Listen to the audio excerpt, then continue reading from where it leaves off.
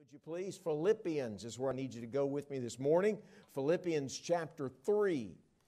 Uh, thinking about some of this music we've had together, it's a crazy thing. I'm, uh, I'm at the age and stage, you know, ladies, you know this. Some of you, uh, before you got married, you were thinking about songs you, and music you wanted in your wedding. And uh, if you're not married, you're probably thinking about some of that music you want to have. I'm at the age where I'm planning my funeral. I, I, uh, I got songs that I want in my funeral. And uh, it sounds morbid, but I, I really, really, I, I, I think about. Uh, I think about the songs we've had together today. All I have is Christ. Jesus, I am resting, resting would you come to my funeral and sing in my funeral? Not planning on it anytime soon here, but uh, need, need that. Have I given you enough time to find Philippians 3? I guess I ought to find it too. I, I'm up here jawing away and I need to get into it here with you. You know, this particular letter, written by the human author Paul, was guided by the Holy Spirit to convey this message in this particular letter written to the church at Philippi, obviously. It's, it's a book, it's a letter in which Paul declares his testimony. Now, there's many other things in, well, I shouldn't say many, there's, there are other truths that are found in this letter. Most of you would know this, that Paul is writing to his friends in Philippi and he's telling them, he's saying to them, you know, what happened to you? You've lost the joy of the Lord. He tells them 17 times to rejoice. In this brief little letter, I can hold in two, two pages the entire letter in my Bible. It's a brief letter. He tells them 17 times to rejoice, to have joy.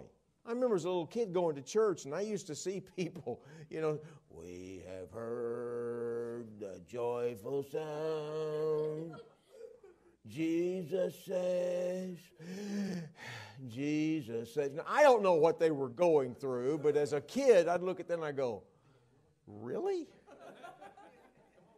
Now, we're not called to be goofy, we're not called to be silly, but there ought to be an internal peace, rest, and joy, regardless of what's external around you. I don't want to dwell on this, but three years ago I heard from the doctor that I had cancer. I was standing at the threshold of the end of my days. Maybe that's why I think about funeral stuff. And only by His grace, I was able to keep my joy. And I found truths in Scripture and I found truth in His presence that I've clung to and anchored my life in. I just got to see my doctor just, just two days ago for my annual checkup. He says, Three years and counting, you're doing good. He said, Hang in there. Don't, don't let it come back. I said, I'm not planning on it. I didn't want it the first time. But I'm going to tell you something. I thank God I got cancer. That sounds odd, but I thank God I went through it because of what I learned. And Paul is declaring a testimony in his own life. In fact, you're in chapter 3, it won't be hard. Look back at chapter 1. The Lord showed me this early on in those days. Look at verse 12. Oh, I wish I could just show you so many other things here in this first chapter, but look at verse 12. He says, But I would you should understand, brethren, that the things which happened unto me, have fallen out rather unto the furtherance of the gospel.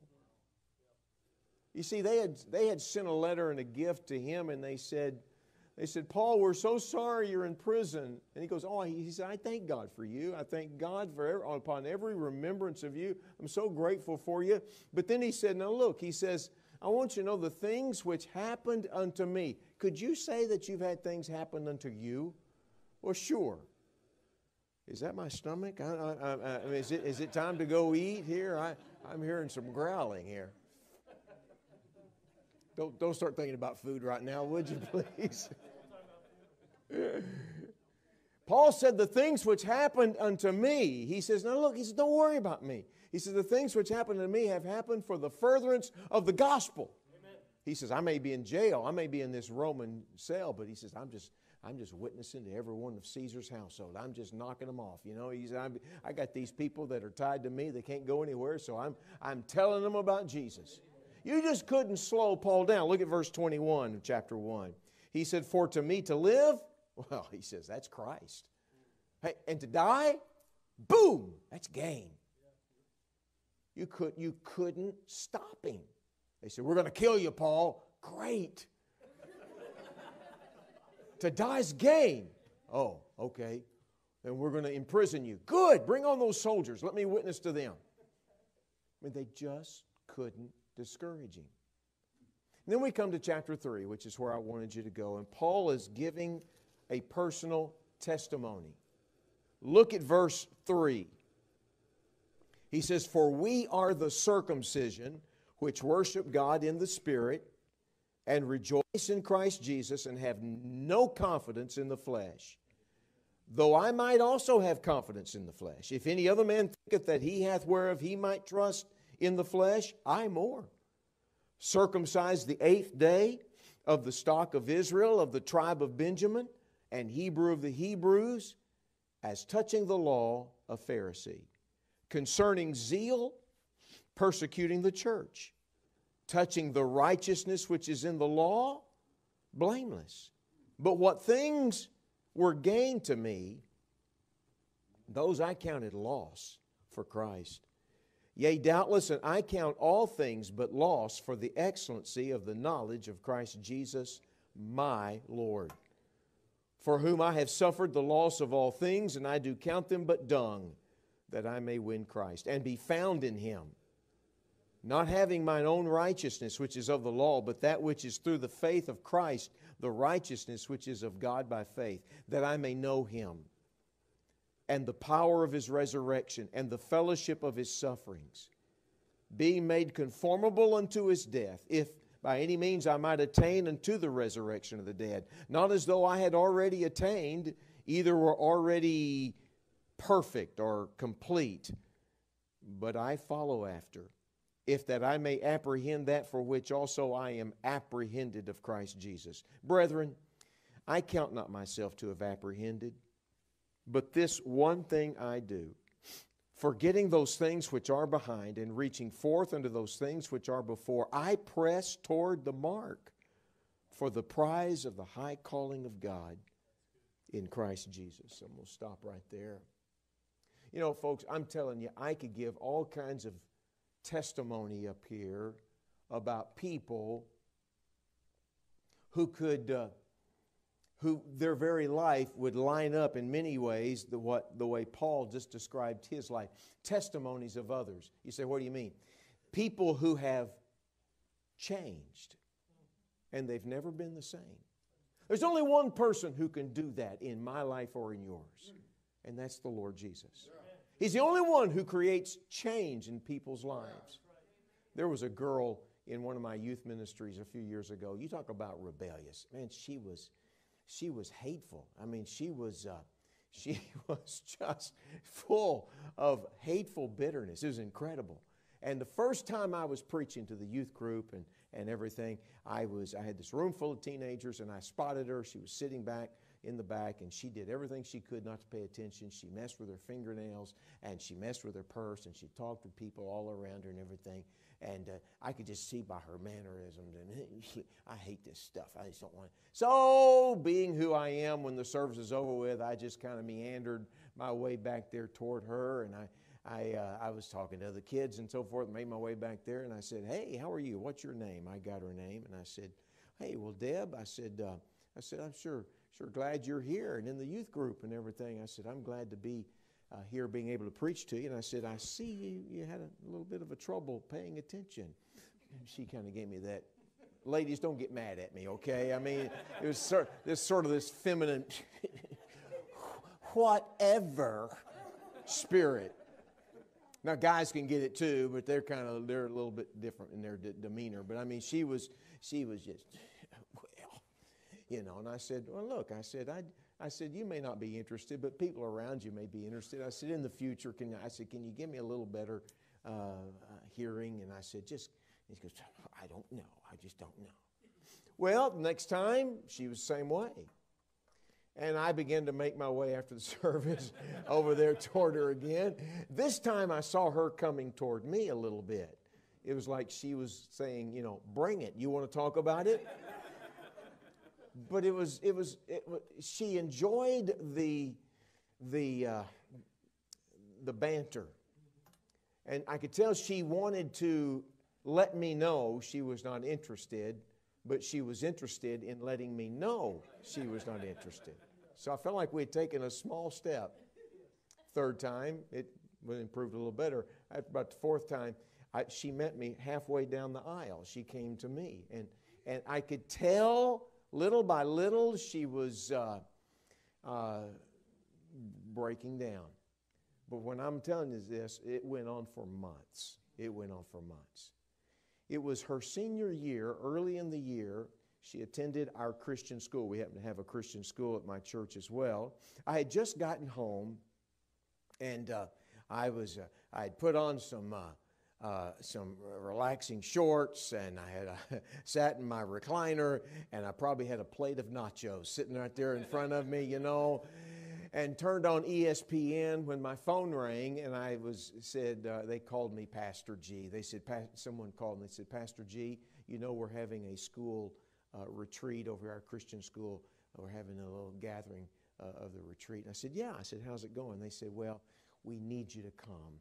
And, I, and I'm thinking, yeah, nachos. I said, well, uh, well, why? I said, what? And, and the lady teacher said, well, you know, Deb. Um, she wants to get saved. Oh, I said, that's wonderful. I said, well, lead her to the Lord. They said, we've tried. but she wants you here for it. I said, she doesn't need me to be there. We told her that, but she wants you here. I said, all right, I, I'll be there as soon as I can. So back on with the, the the garments of ministry. And I, uh, I drove over to this camp about 45 minutes away, and I, I walked in, and there she sat at a table with one of the teachers, and she was smiling, looking up at me like, What took you so long? And I, I looked at her and I said, What, what are you doing? And she said, I want to get saved. I said, Well, good. I said, Why haven't you already taken care of it? These folks are trying to help you. She said, I know, but you and I have talked so many times. I just wanted you to be here for it. I said, okay, all right. So I showed her the gospel that she knew well, and with tears in her eyes, she accepted Christ as her Savior. Can I tell you something? Prior to that time, I had found out what had caused her such disgust and anger and bitterness was directed at her parents, in particular her mother. She despised her mother for decisions her mother had made and family had made. They had actually moved to get her, Deb, away from some of the wrong element that she used to be a part of. And she had determined, I will never forgive my mother for what she had done. And so whenever I stood to preach, I represented that authority, and she was furious until that night. Can I tell you, every time we came to church from that point on, I watched her walk in the door. Ready? arm in arm with her mother. She loved her mom. She'd sit in church and she'd sit there and she'd smile at her mom. They loved each other, close as they could be. I saw that girl begin to feast on the Word of God and change dramatically. I'm just telling you. It was about, I don't know, four or so years. I, I had left. I left the church and went into the itinerant evangelistic work that I do now, and and uh, I was uh, living in Indiana at the time and away from that ministry. And I get a phone call. This girl had gone off to Christian college, smart girl, just brilliant girl, passed with highest of honors. And uh, she, uh, she'd gotten her degree. And she calls me and she goes, Pastor G, she said, I'm getting married. I said, Deb, that's wonderful. Tell me who you're marrying. She told me it was a guy that was a part of the, the church I used to be a part of. I said, Oh, he is a great guy. I said, That's wonderful. She said, Yeah, we want you to marry us. I said, uh, Deb, I don't live there anymore. You know that. I said, and I, I, I said, my schedule uh, won't, won't allow. I said, she goes, no, we want you to marry us, and we're going, we want you to do it. I said, well, when are you getting married? She said, when can you get here? I said, I, I said, no, no, no, no. When are you, what are you shooting for? She said, well, we'd like to early, early summer, but we'll arrange it anytime your schedule goes. I said, what is the date you're looking for? She gave me a date in June. I said, Look, Deb, I said, I, There's no way. I said, I, I don't think I, I grabbed my calendar and I looked at it and I looked at that weekend and I said, Well, would you look at that? I said, Okay, I've got that Saturday free. I said, I'm in between youth camps. I can come and, I, yeah, I can do it. Good. She said, I knew it would work out. Can I tell you something? It is the only wedding I have ever conducted in which which I, I, while I'm doing, of course, I got a microphone on me, and so I had to whisper it. But in, she, she was giddy with delight. She was so happy about getting married. She was so happy in the Lord, joyful in the Lord, that I literally had to say, "Be still." She was just bouncing up there. And, and I was looking at everybody behind her. Everybody was laughing and pointing at her because she was just giddy. And I thought, no one's listening uh, to the message and what we're doing here. So I had to say, calm down, would you please? What do I see in that girl? She changed from hateful anger, bitterness to this delightful individual. Oh, I could talk about the boy who got saved this last summer uh, at a camp. He got saved, and I'm telling you something, he cried after every service. 16 years of age came up and would ask me, Where are those verses you preach from? And I'd show him, brand new Christian, brand new believer, was unfamiliar with the Bible, weeping. And he says, I've never heard this stuff before. And he had changed. I could talk about the kid who ran away from home three times and then God saved him. And now he's pastoring his church in Tennessee today. I could talk about a number of people who have changed. Paul is writing to us here in Philippians 3 of how God changed him. And I have to draw the que- I have to ask you this question. Are you being changed? Oh, you say, Morris, I got, I got changed when I got saved. Yeah, I know that. But here's the deal there is the change that takes place when we come to Christ. We call that a positional change. Friends, someday when we get to heaven, there will be what we call the perfected change. All will be clean and clear and right, and no more battling with the flesh. Won't that be wonderful? There is the positional change in Christ, there'll be the perfected change. But between here and heaven, folks, hear me, there's to be a progressive change. Jesus is still in the process of equipping us and progressing us in change. And that's what Paul's talking about. Paul divides his testimony. In fact, every testimony has three parts to it, and I'll say it as quickly as I can. The section before Christ, BC, then how I came to Christ, then how I live after I came to Christ. Look at what he said about his time before Christ. Would you notice please, in verse 4, he says, Though I might also have confidence in the flesh, in my human body, if any other man thinketh that he has whereof, to tru- uh, whereof he might trust in the flesh, I more. Now look at this. He says, I was circumcised the eighth day. In other words, he says, I had the right beginning.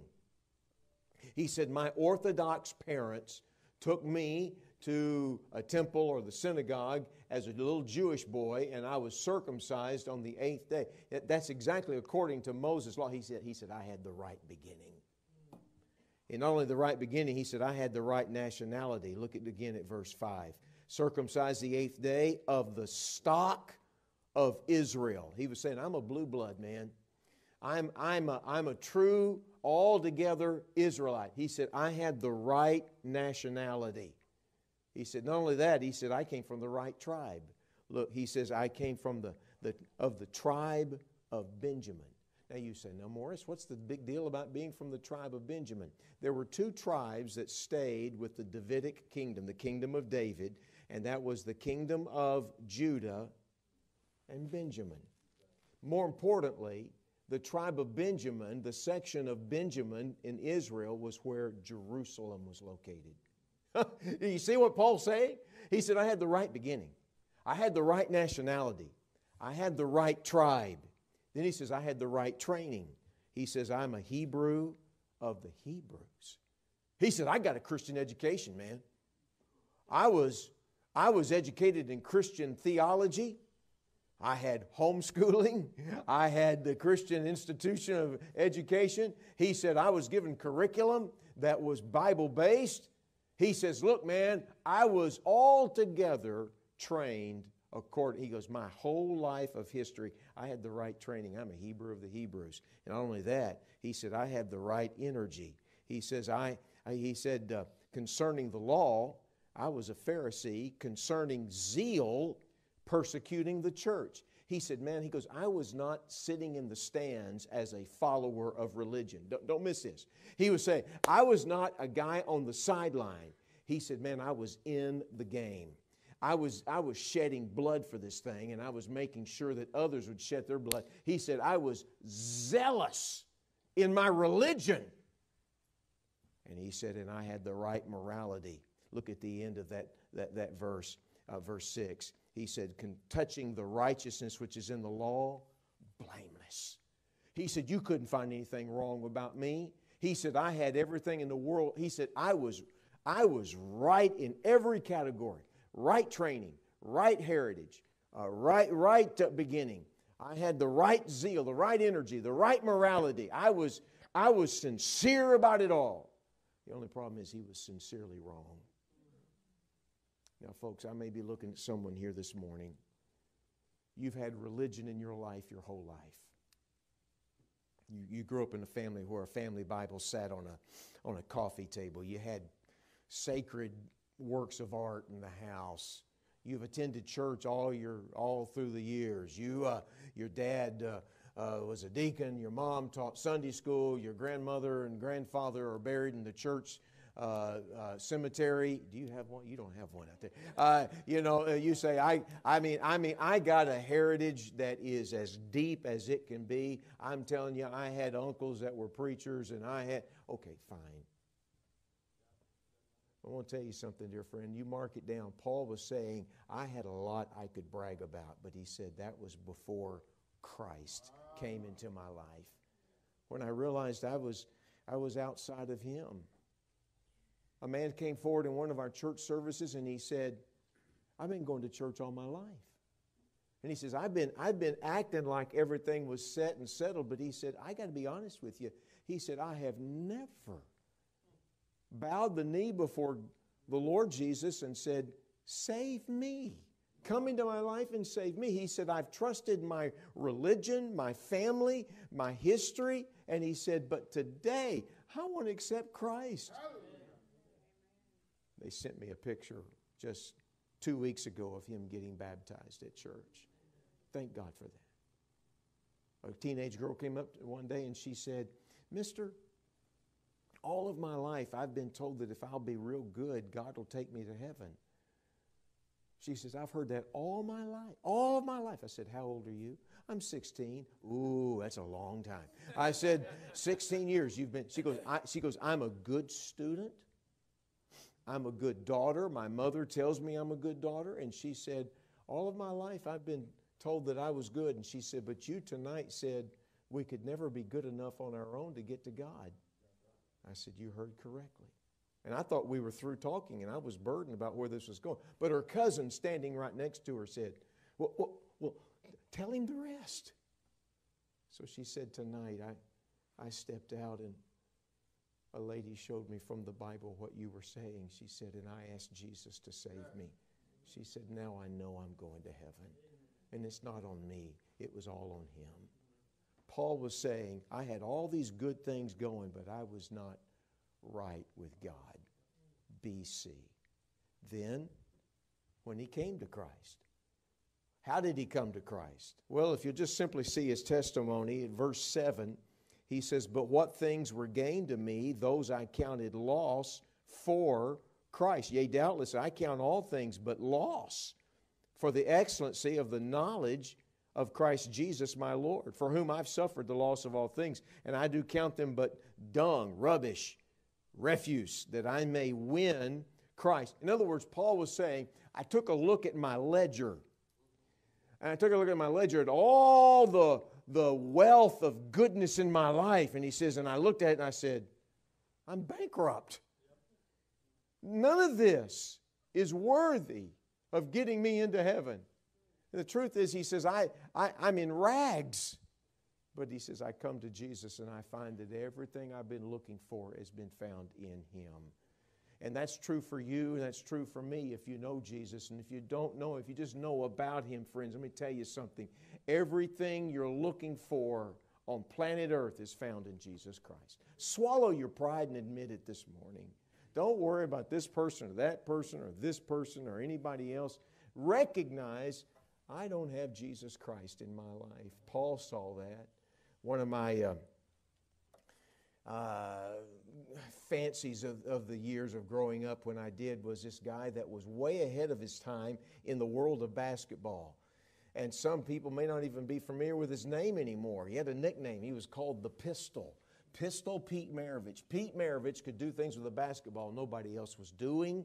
Nobody even thought about doing. He, he threw the no look pass when nobody was doing it. He could dribble around anything and everything. He shot like a crazy man. I mean, he played over there at LSU in Louisiana. I'm going to tell you something. His records stand in the NCAA record books to this day. He averaged 44.7 points a game. Incredible. People, people would pack out the, the gymnasiums and the, and the field houses to watch him put on a show. He would go to some other college campus, and they were there to ho- hopefully beat Pete Maravich and the LSU Tigers. But by the end of the game, there were more people cheering for him than they were for their own team because of the things he could do. He was phenomenal. Pete Maravich, in his own testimony, I've heard it, would tell that he had a lot of things going for him, but he was not happy. He said, I was successful in sports, but he said, I wasn't happy. He said, I, uh, he said he took up, uh, uh, he took up martial arts, thinking that maybe, maybe if I can find some way to meditate, sit and meditate, and take up martial arts and so forth, which is fine. He said it would, it would do something, it would fill the void inside of me. He said it didn't he said, I, I decided to become a vegetarian. And uh, he goes, now, if you eat carefully like that, fine. But he's, he, Pete said in his own words, he said, it left me empty in more ways than one. and uh, he said, uh, he, then he started studying UFOs. And he said uh, he started believing that there was other life on other places in other galaxies. And he actually got on the roof of his house and painted the words, Take me. He was hoping some alien would take him away. He was looking for happiness. He said he never went anywhere without about $8,000 in his, in his wallet, probably like many of you. And, uh, and, and he said, because you never knew when I might want to just jump on a plane and fly somewhere. He said, I had all the money in the world. I chased women. He said, I tried drugs. He said, I was popular. He said, nothing satisfied me until I was sitting in a conference for young people, and he said they asked me to come and put on a display of basketball skills. He said, I sat in the back and he said, I heard about Jesus for the first time. Soon thereafter, Pete bowed his heart to the Lord and he said, Jesus, come into my life and save me. And he was changed. Pete never went anywhere without taking gospel tracts with him. Never, from that point on. His family said that he would go play in some other uh, city on, on, a basketball, on you know, one of the NBA teams, and, and in between practice and ball games, he'd walk the streets of that city and he'd pass out gospel tracts. Well, who's going to say no to this famous NBA player? He would take gospel tracts and hand it out. He, he got to where if he had a Sunday free, he'd go and stand and he'd give his testimony of how Christ came into his life and changed him. My friend, can I tell you something? Paul is declaring to us here what he was before Christ, how he came to Christ, but it didn't stop there. Many of you could say, That's my testimony. All right, now listen carefully. What are you doing now? Is there an ongoing change? Hear me, that's visible. It's obvious. It's verbal. It's vibrant. It's recognizable. Something, you ever seen somebody on crutches and got their arm in a sling or something? What, what's the first words out of your mouth when you see your friend? Oh man, what happened to you? Are you the kind of Christian that somebody can look at your life and say, and someone say, What's happening to you? Paul declares the changes in his life. Would you notice, please, in verse, in verse uh, 9 and be found in him, not having mine own righteousness, which is of the law, but that which is through the faith of Christ. He says, He changed me, man. The righteousness which is of God by faith. Verse 10 that I may know him. Paul said here, I have a new priority. He says, The change that's taking place in my life is that I have a new priority in my life. What is it, Paul? That I may know him. You say, Morris, I, I know the Lord. Look at me. Paul, when he wrote these words, had been a believer in Jesus Christ. Are you ready for this? For 30 years, probably a little over 30 years. And what's he saying is his priority in life. I, I, I still, I'm still trying to get to know him better. I want to know him. I want to know him better. We sing it more, more about Jesus. You ever been around a new believer, a new convert who's gone through the process of this portion of the change? It's like every song sung is like, oh man, oh, that's, that's, that's another one of my favorite songs. They have 367 favorite songs. And every time Pastor preaches, they're going, What's he doing? Is he parking out in front of my house watching everything I do? Oh, Pastor, I needed this sermon. They're the, one of the first ones there, one of the last ones to leave. They walk up with a handful, with a sheet of paper, say, Pastor, I have a few questions I need to ask you.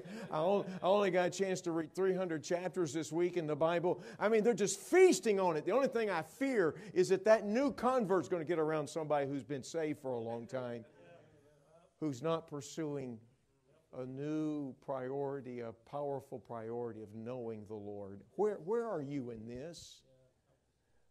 Uh, this, this, this statement that Paul is saying, he's saying here boldly, I am in Christ, like the weaving of, of threads together to make material, like the weaving of twine to make a rope. He says, I am tied in with the Lord and I just want to know Him. Is that true of you? Or, or is your testimony one of, yeah, I know the Lord? Mm-hmm. And a preacher can say, take your Bible and turn to, you know, Hosea. I'm there. I know my Bible. Well, wonderful. I'm glad. And I'm being kind of cold in my description, but can I ask you honestly, ma'am, sir, young person, is this a priority with you? To hear his voice in the words of Scripture, to hear him speak to you. I have a preacher friend who's now with his Lord who used to say this. He said, When I get to heaven and I audibly hear for the first time the voice of Jesus, I want to be able to say, I've heard that voice before. No, not audibly. But he's talked to me. I know him. I heard another man say, and this, of course, won't happen, but some people live in such a way that when they get to heaven, they, they're going to have to introduce themselves because they're not in touch with the Lord.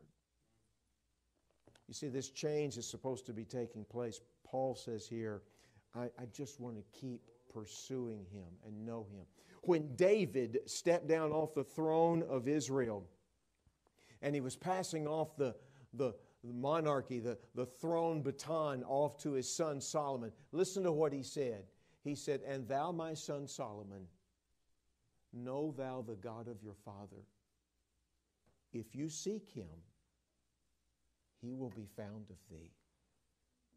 Ezra spoke in chapter uh, 4. He said, he said, he goes, I, I set my heart to know his word, to do what he said, and then to teach others what he taught me. That's a paraphrase, that's not a direct quote. Ezra said, I have spent time pursuing him like a young couple in college or out of college and they start dating each other. I mean, they want to get to know everything about each other. She looks at the curve of his ear, that's important. He's listening to her voice, and they just want to get to know each other. And they stand there at the marriage altar, and every husband that's getting married. He thinks he knows her. Oh, son. Son. It's a lifetime journey to know your wife, to understand her thoughts, her feelings that sometimes she doesn't understand. but your companions. Paul said, I just want to know him. Would it be true in your life that somebody walks around you and they can sense you're, you're continually being changed with this new priority of knowing Him? Paul said, I, want, I have a new priority, but number two, he says, I have a new power. Look at verse 10 again. He says here that I may know Him and the power of His resurrection. Can I just touch this? And, but I want to make sure you get it. Paul said, I've been changed. I have heaven to look forward to, but I'm still going through the progressive change in my life. He goes, I have a new priority that I may know him. And he says, I have a new power. What is that? The power of his resurrection. Answer this question in your own heart. What could be, what could be more powerful than resurrection? I mean, seriously. I mean, what could be more powerful than being brought from death to life? Paul says, I want to know that power, the power of his resurrection in my life. Okay, practical application. What does that mean? Would you not like to have power over temptation? Would you, not, would you not like to have the kind of power that says no to that which has weakened you through the years and say, I'm not going to do that anymore? Wouldn't you like to have the power of a godly testimony in which, when you interact with people at school and at work and wherever it may be, there is a power that you don't, you don't conjure up yourself. You don't draw it up within your personality. You don't read books about it. It is a power that God alone gives to you. Paul says, I'm, I'm growing, I'm changing, and I want to know more about this power a powerful prayer life. The kind of prayer life that allows me to talk to God and to know that not only He hears me, but if it be according to His will, He will answer according to His will. I'm having a powerful testimony, a powerful, victorious life over temptation.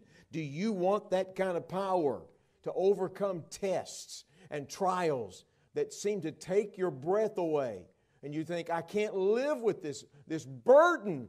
And yet you can say, I have a power that I didn't know I had.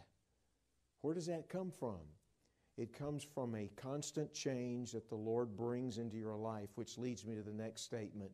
There is a new priority, there is a new power, and there's a new partnership. Look again at verse 10 that I may know him and the power of his resurrection, and here it is, and the fellowship of his sufferings. Fellowship. I call it a partnership.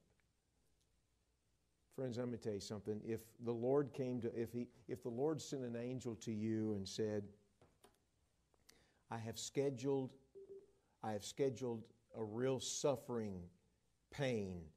I've, I've, I've, I've scheduled a car accident. I've scheduled a doctor's report that you don't want to hear. I've scheduled a, a, a heartbreaking situation. I, have scheduled all this uh, for tomorrow afternoon. Is that going to work with your schedule? You say, you know, let me check that. Uh, no, can we reschedule that for about 300 years from now? I don't, I don't want that. We don't know. Hear me. Come up close to your Bible. We don't know when trouble's going to come. We don't know when something comes along that takes your breath away emotionally, spiritually. You don't know. I don't know.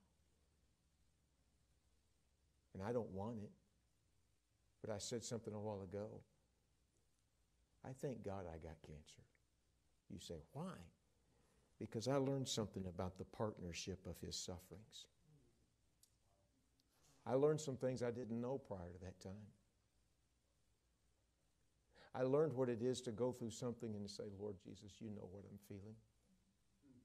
You know, God knows your loneliness. God, the Lord, the Lord knows your pain. The Lord knows your disappointments. The Lord knows your heartache. He knows. He went through it all. And there'll be a there's a partnership that occurs that won't occur unless you're allowing him to strengthen and change you. And make you more into His image. We don't want that, but He's shaping us and He knows how much we can handle. As hard as that is to accept, it is the truth. He allows, he allows trouble, He allows persecution to create Christ likeness into our lives. He allows crises in our lives. Disciples in a boat being tossed around by a terrible storm scared them, scared. them. They thought they were going to die. Let me tell you something, they never forgot what Jesus did in their life. They never forgot it. Martha and Mary were heartbroken. Their, their brother Lazarus was dead. And yet they never forgot how Lazarus came out of that tomb.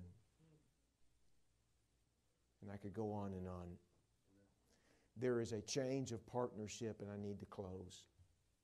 He said, Not only do I have a new priority and a new power and a new partnership, he said, I have a new perspective. For sake of time, you know the verses here that we just read, verses 13 and 14. Paul said, He said, Brethren, I haven't reached everything that I want to reach. There have been things that have pulled on my heart, things I want to do and things I want to be for the Lord. And I've not fulfilled everything that I'm supposed to fulfill for the Lord. He said, But this one thing I do, forgetting those things which are behind me, which would include not only failures, but also victories. He says, he goes, I'm not going to live my life going down the road just checking out the rearview mirror. If you on the way home today, if you're driving down the road, if all you do is look through the rearview mirror, you're going to have a wreck. It's okay to glance up there. It's important to remember to see where you've been, but you got to keep your eyes on that big, broad uh, glass in front of you in the future. And that's what Paul is saying. He says, I have a whole new perspective. What is it, Paul? He says, One of these days I'm going to face the Lord.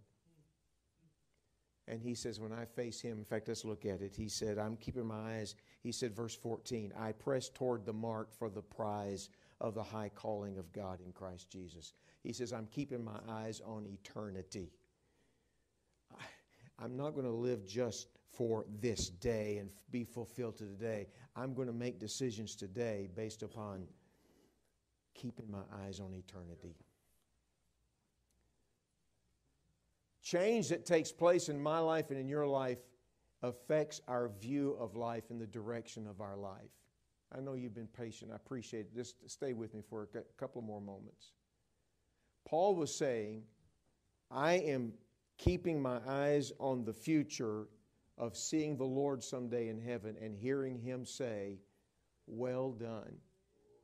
You did what I told you to do. You fulfilled what I gave you to fulfill. Paul was saying this. You could, you could agree with this, couldn't you? I haven't arrived yet. I haven't done everything I need to do yet. He was saying, I'm going to bury the past I'm going to get God's forgiveness and not live with a bunch of guilt in my life. It's under the blood of Christ. I'm going to move on. And he says, I'm going to pursue forward like a runner toward the Lord. I'm accelerating forward to the finish line. When I was a kid, excuse me, when my boy was a small child, one night his mother told him, Son, it's time to go get your room cleaned up and get ready for bed. I don't know about your kids, but my boys didn't, er, never wanted to go to bed. Uh, and uh, isn't it amazing how it changes when you get older? You know, you want to stay up till midnight when you're a kid. When you become an adult, 9:30 is looking real good. That pillow is looking good. Anyway, he didn't want to go to bed. He was just a little youngster, and uh, my my wife said, Andy, get in there and clean up your room and get ready for bed. And he was in there and he was dragging his feet and he was putting a few things up in the toy chest and, and putting things where they belong and so forth. But he'd get occupied with something he played with earlier during the day and he was just messing around. I, I walked by his room I saw what he, he was not doing what he was supposed to do. And I looked at him I said, Son, you've been told to get this room clean. You know, you know the eye that parents give? I said, let's get this room clean now. And he knew, I better do what daddy says. And so all of a sudden, things begin to go into the closet. You know, he's bearing out of things. Oh, there's my little brother. You know, and I mean, he was he was just finding all kinds of things. He was putting back up in the closet and, and so forth. And when he got everything in place, he came and found me and he brought me down to his room. He said, "Daddy, Daddy, come here." We walked down to his room and he said, "Daddy, look. You know, like a TV host on one of those game shows. It's a new car, you know. I mean, uh, he said, Daddy, look. Does this make you proud of me? How, how do you squeeze a little kid strong enough to let him know how proud you are, how pleased you are? I'm going to squeeze until his eyeballs poked, bulged out for, because he obeyed his mom and his dad. I made a big deal out of it. We had time in scriptures, we had prayer. I put him into bed, and before long, he was, he was out. After a bit, I walked back down the hall. I saw that he was asleep. I went over, and in the darkness of his room, I got on my knees. I gently put my hand on his body. I could feel the rise of his breathing. And in my heart, I prayed, Lord, my boy wanted his daddy to be proud of him. I said, Lord, I want to live in a way that you're proud and pleased with me too. You're my father. I want you to be pleased with me. Paul said, I got a new perspective. I'm being changed. Maybe for you this morning, it's a matter of just getting back to making a priority of getting to know God. Maybe it's understanding of the trials that you're going through, understanding the pain that you're going through. When I say understand, I mean by that, you know that the Lord's doing His masterful work. Maybe there's something else that I didn't really specifically say, but the Spirit of God brought to your attention this morning. Maybe this morning you just need to say, God, Help me to quit fretting over everything of this day and keep my perspective on facing you someday. I want the change to continue. Let's bow our heads for prayer. A visible, verbal, vibrant change. It starts with knowing Christ being in Christ, the change that came at salvation. Is there someone here this morning that would say, Mr. Preacher, I got to tell you, I'm just not real sure I'm going to heaven. I know some things about God. I know some things about heaven. I know some things. I've heard the name Jesus maybe all your life, but you'd say, Preacher man, I don't know if I'm going to heaven. But I want to go to heaven. I want, I want to have a relationship with God. And you'd say, Morris, pray for me. Just pray for me. I promise I won't embarrass you, but I'd like to know if you're concerned about that. You'd say, Pray for me because I want to know I'm going to heaven. All you got to do is lift your hand. I'll see it and you put it down. I will not point you out. Who here this morning would say, I don't know about people around me, but I, for one, I'm not sure that I have this initial change with Jesus as my Savior? Morris, pray for me. All you got to do is lift your hand. Anyone like that? I'm not sure I'm going to heaven. I want a relationship with God. Morris, pray for me. Thank you, friend. I will pray for you. I sure will. God bless you. Anyone else? Anyone else? Thank you. I want Jesus in my life, but just pray for me. I'll keep that promise in a minute and pray for these two. Who here this morning, as a child of God, would say, Morris, I heard something today that you preached on from Paul's testimony of how he was changed and never the same. And Morris, honestly, I, I want to live in such a way that people will begin to detect the, the ongoing progressive growth and change in me. I heard something today. I'm a Christian. I'm going to heaven, but I heard something today I needed to hear, Morris. God spoke to me. Would you lift up your hand all over the room? God challenged me. He encouraged me about things today. Wonderful. Super. May put your hands down. Would you stand with me? Let's stand. I know that this church understands what an invitation is all about. You understand what it means to have opportunity to talk to the Lord. There's one or two people who said, I'm not sure I'm going to heaven, pray for me. I'm going to pray for them. In a moment, we're going to have our heads bowed. I, I would love to talk to you. If you want to talk after the service, please let us know that. You'd rather talk to Pastor Will, please do so. And uh, that'd be great.